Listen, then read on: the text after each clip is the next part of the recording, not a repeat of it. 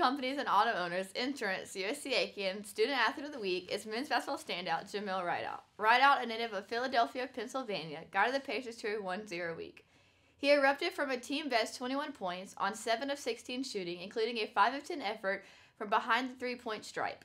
Rideout distributed a team high three assists to go along with four rebounds and a block in 27 minutes of action. In the second half, he scored 15 points on 5 of 8 shooting including 4 of 6 from downtown in 14 minutes of work. Rideout's 21 points not only marked a team high effort for the sophomore, but also career best effort.